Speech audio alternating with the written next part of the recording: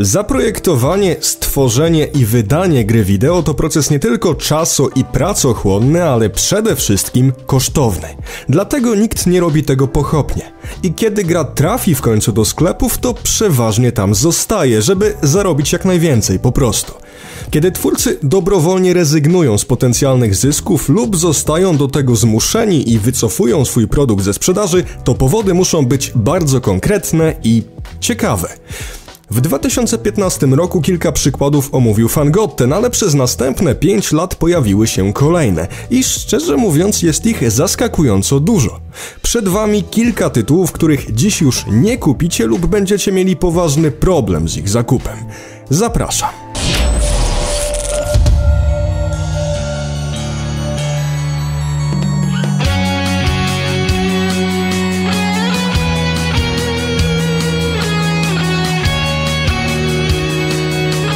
Zacznijmy od zremasterowanego DuckTales, czyli odświeżonej wersji kultowej, bardzo cenionej przygodówki z roku 1990. Remaster trafił na rynek w sierpniu 2013 roku i zebrał bardzo pozytywne recenzje. Twórcom udało się usprawnić gameplay i upiększyć oprawę, zachowując jednocześnie klimat oryginału. A jednak 8 sierpnia zeszłego roku gra została definitywnie wycofana z dystrybucji. Dotknęło to wszystkie platformy: PC-ty, Xboxa 360, PlayStation 3 i Wii U, a także smartfony. Co się stało, że tak udany i ciepło przyjęty tytuł został nagle zupełnie niespodziewanie usunięty z rynku? Zadecydowały względy licencyjne. Capcom, odpowiedzialny za interaktywne kacze opowieści, podpisał z Disneyem umowę obowiązującą właśnie do 8 sierpnia. Definitywny koniec DuckTales poprzedziły liczne wyprzedaże tego tytułu, jak to zwykle bywa z towarem, którego trzeba się możliwie szybko pozbyć. Od 8 sierpnia 2019 roku remaster kaczych opowieści można kupić już tylko z tak zwanej drugiej ręki.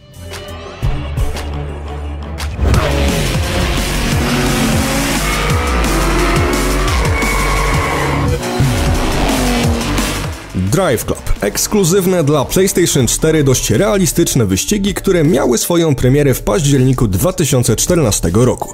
Tytuł średni, ale bardzo ładny i nie posiadający wówczas zbyt dużej konkurencji. Sprzedał się więc całkiem przyzwoicie.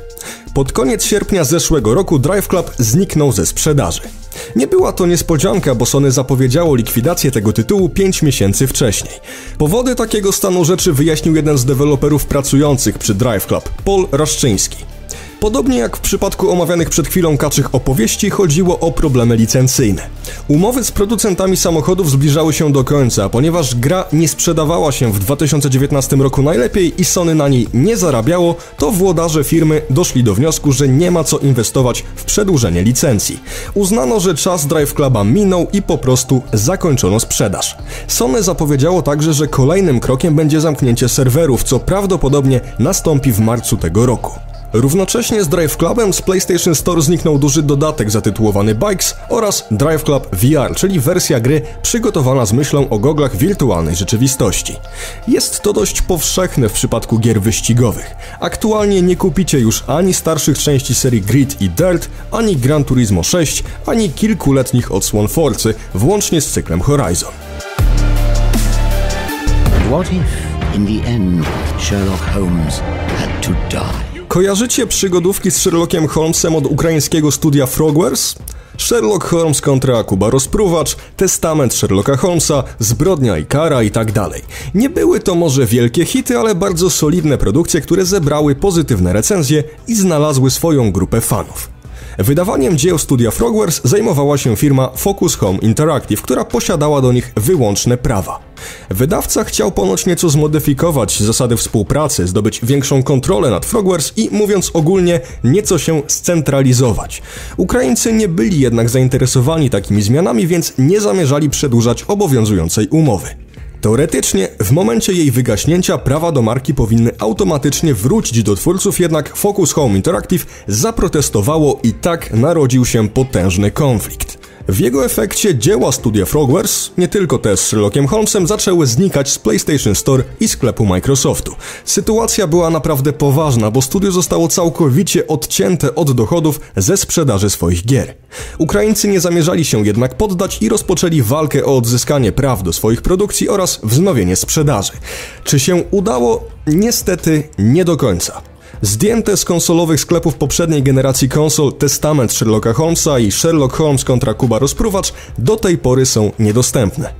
Inaczej sytuacja wygląda na PC-tach, ponieważ na tej platformie Frogwares zajęło się dystrybucją samodzielnie, więc wrogo nastawiony były już wydawca nie mógł nic zrobić.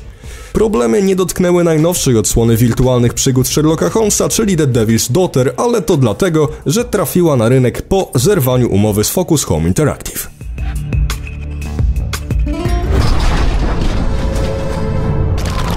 Teraz coś bardziej nietypowego. Normalnie w chwili wycofania danej gry ze sprzedaży, ci, którzy zakupili ją wcześniej, wciąż mają do niej bezproblemowy dostęp. Mogą ją pobierać, instalować i korzystać do woli. W przypadku Tron Evolution jest inaczej. Internet dość często obiegają informacje o tym, że serwery jakiejś gry zostały wyłączone. Wydawca dochodzi w pewnym momencie do wniosku, że zainteresowanie danym tytułem jest tak małe, że utrzymywanie całej sieciowej infrastruktury staje się nieopłacalne. Disney poszedł o krok dalej i przestał opłacać Securom, czyli zewnętrzną firmę zajmującą się obsługą aktywacji. W efekcie tronu po prostu nie da się aktywować i co za tym idzie uruchomić.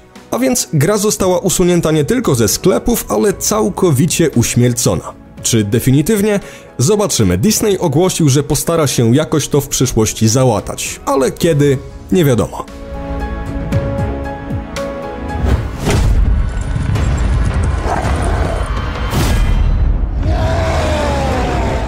Ciekawym przypadkiem jest też oryginalny Warcraft 3, który ewidentnie zniknął ze sklepów po to, żeby nie przeszkadzał odświeżonej wersji tego tytułu.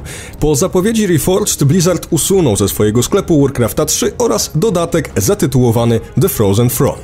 Co ciekawe, stara i nowa wersja są ze sobą kompatybilne i umożliwiają wspólną rozgrywkę w trybie sieciowym. Twórcy doszli jednak do wniosku, że skoro przygotowali nową, ładniejszą wersję, to stara nikogo już nie zainteresuje.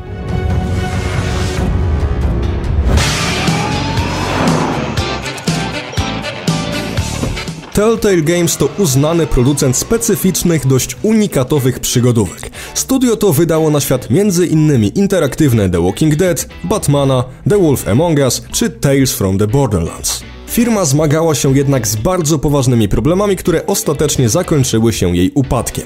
W efekcie sprzedaż niektórych gier Telltale została wstrzymana.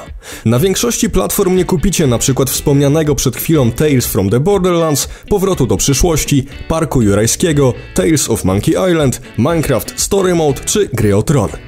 The Walking Dead powróciło po jakimś czasie, ale większość, jakby nie patrzeć, udanych produkcji amerykańskiego studia jest niedostępna i nie wiadomo, czy uda się je jakoś przywrócić na rynek.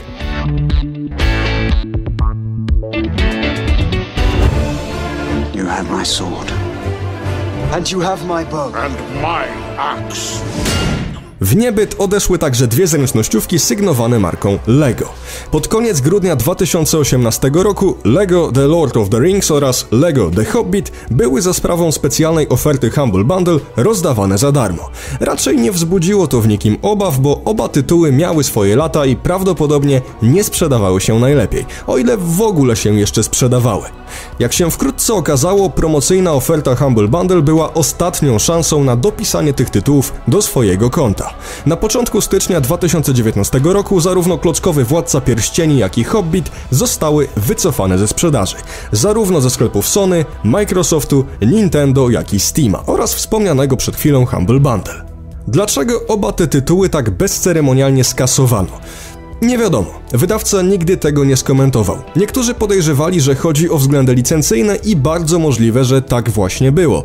Ale z drugiej strony mobilna wersja LEGO The Lord of the Rings wciąż jest dostępna.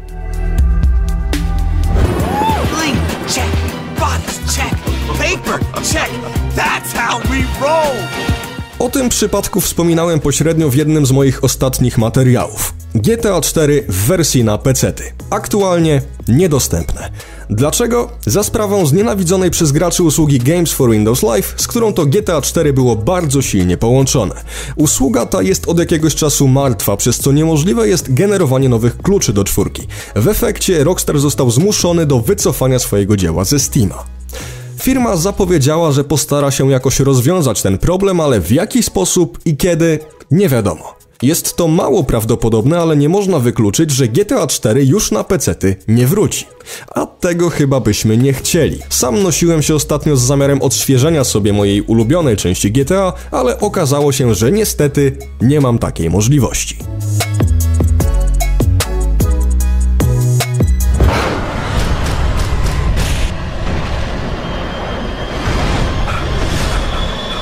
A na zakończenie dwa tytuły, którym udało się w cudzysłowie wrócić z zagrobu. Czyli takich, które wycofano ze sprzedaży, ale po jakimś czasie wróciły na rynek. W maju 2017 roku ze sklepów, i to nie tylko cyfrowych, ale także fizycznych, zniknął moim zdaniem trochę niedoceniany Alan Wake od studia Remedy Entertainment. Dlaczego? Jak to zwykle bywa z powodów licencyjnych. W tym przypadku chodziło o wykorzystaną w grze muzykę, między innymi kawałki Nicka Cave'a, Davida Bowie czy The Black Angels. Usunięcie Alana Wake'a poprzedziły ogromne wyprzedaże. Można go było kupić za 10% ceny. Twórcy zapowiedzieli jednak, że postarają się załatwić formalności w taki sposób, aby gra wróciła do sklepów. I tak się stało. W październiku roku 2018 Alan Wake powrócił. Inną grą, która przeszła niemalże identyczną drogę jest druga Mafia. Przyczyna zamieszania dokładnie ta sama co w przypadku Alana Wake'a muzyka. Pod koniec sierpnia 2015 roku Mafia 2 zniknęła ze sklepów. Wróciła 9 miesięcy później bez kilku problematycznych utworów. Z powodu muzyki prawdopodobnie skasowano także najnowszego Drivera, czyli San Francisco oraz ciekawego RPGa z 2010 roku Alpha Protocol. Niestety te tytuły nigdy do sprzedaży nie wróciły. Przykładów gier, które w ostatnim czasie zniknęły ze sklepów, przeważnie tych cyfrowych, jest o wiele więcej, ale myślę, że póki co wystarczy. Może za jakiś czas, kiedy pojawią się nowe, ciekawe i głośne przypadki, wrócimy do tematu. Dzięki za uwagę i do usłyszenia.